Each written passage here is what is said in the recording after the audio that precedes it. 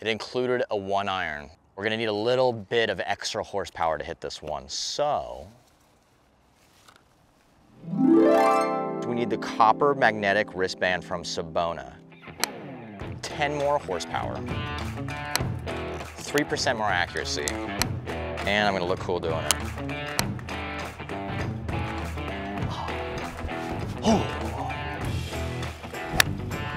211 carry, 230 total. 211 carry, 237 total.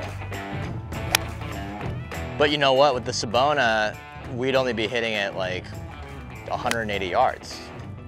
Uh, give it a B plus. B, just B.